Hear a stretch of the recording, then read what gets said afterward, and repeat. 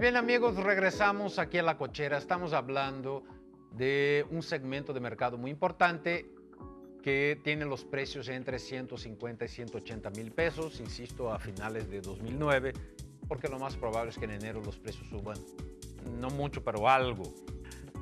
Vamos a hablar ahora de manejo. Ya hablamos de espacio, ya hablamos de soluciones interesantes de diseño interior. Vamos a hablar ahora de manejo. Entonces, ¿qué hay entre esos 30 coches que nombramos al principio que es más agradable de manejar? Si usted es un entusiasta, si a usted le gusta el manejo preciso, ¿qué es lo más interesante aquí? Todavía no entramos en un segmento de mucha potencia. Ese está aún algunos miles de pesos más arriba. Sin embargo, ya hay vehículos de potencia considerable en ese segmento y de hecho el más potente entre los 30 vehículos que nombramos aquí es el Pontiac G5. Es una pena que sea un Pontiac porque, porque Pontiac es una marca que va a desaparecer en 2010. Entonces no sabemos aún si hay planes para mantener este coche. Pero les aviso, por ejemplo, que el Pontiac Matiz sí va a seguir siendo ofrecido. Se va a vender en los distribuidores Chevrolet se va a quitar el logotipo de Pontiac de la parte exterior, pero va a seguir siendo vendido. Entonces, soluciones de ese tipo podrían ser encontradas. el Pontiac G3, por ejemplo, que se fabrica en San Luis Potosí, hay versiones Aveo que son prácticamente idénticas, más bien mecánicamente son idénticas y no tiene por qué desaparecer. Desaparecerá la marca G3, pero el vehículo ahí sigue. Entonces, el Pontiac G5 es uno de esos vehículos que que son recomendables por su buen manejo. Aquí hay más potencia que, exactamente un manejo preciso. Si vamos a precisión de manejo, a, sabor de, conducción, creo que mi favorito en este segmento es el Fiat Grande Punto.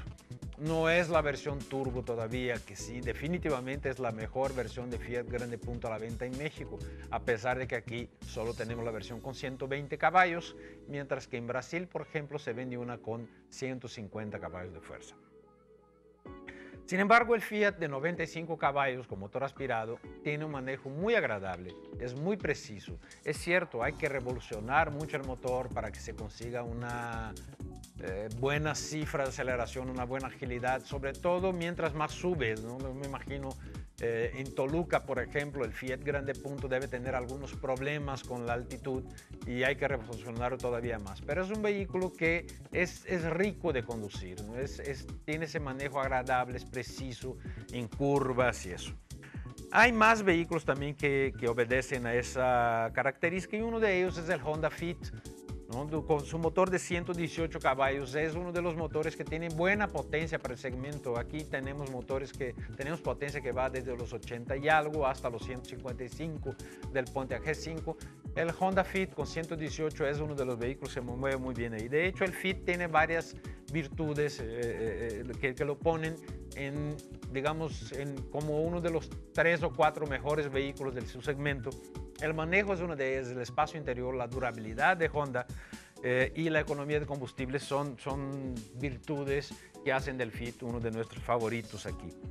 Ahora, eh, el Peugeot 207 Compact también es un vehículo de gran manejo. Los franceses se caracterizan por eso y a pesar de que el Peugeot no está hecho en Francia, está hecho en Brasil, en este caso, es un vehículo que, tiene ese sabor francés de, conducción que ofrece a la vez confort y precisión, eh, confort y estabilidad en una mezcla que me atrevería a decir que ningún otro país ha logrado desarrollar de la misma manera que los franceses.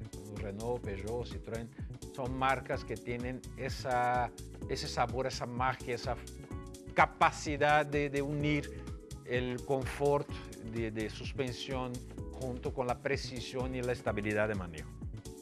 Eh, ya, ya, hablamos del Pontiac G5, hablamos también obviamente de otro francés, el Renault Megane, ya está aquí también como una de las versiones más interesantes. Estamos hablando de la versión básica del Megane con el motor del Clio, que es un motor de 110 caballos de fuerza y 1.6 litros, pero funciona bastante bien, es muy agradable el coche de manejar.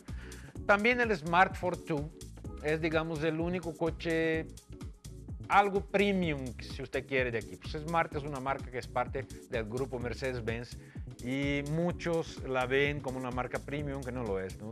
Desgraciadamente Smart no es un coche que pudiéramos recomendar por su durabilidad, sí por, por su diseño, sí por su manejo, pero potencia y durabilidad no son precisamente su, su carta fuerte.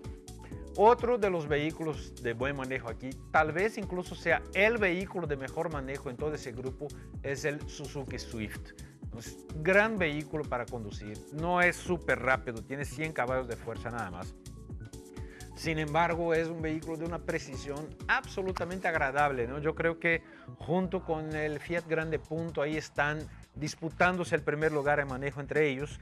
También podemos poner al Volkswagen Gol como uno de los vehículos agradables de conducir, más que nada en la versión hatchback, a pesar de que aquí estamos hablando de sedán y a pesar de que en México preferimos los sedán. Curiosamente, a pesar de esto, a pesar de, que, insisto, nosotros eh, nos inclinamos sobre los vehículos con la cajuela muy definida, es el Golf hatchback que está escaso en el mercado. Si usted quiere un Golf sedán, puede ir en, un distribuidor Volkswagen y lo más probable es que lo encuentre para entrega inmediata. Sin embargo, el, hatchback no es así, hay que esperar un ratito por lo menos para tenerlo. Ahora, vamos a hablar, eh, en el último segmento del programa, vamos a hablar de economía de combustible, vamos a hablar de valor de reventa, vamos a hablar de, de seguros, de, de vehículos más o menos robados aquí entre esos, y les vamos a comentar cuáles son nuestros favoritos, qué vehículo compraríamos nosotros si estuviéramos en ese segmento. Vamos a un corte, no se vaya, ahorita regresamos con más en la cochera.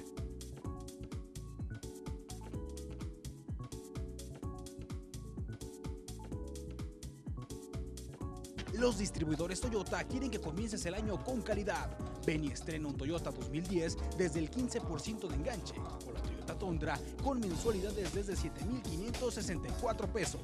Descubre por qué Toyota es la marca más reconocida en el mundo por su calidad.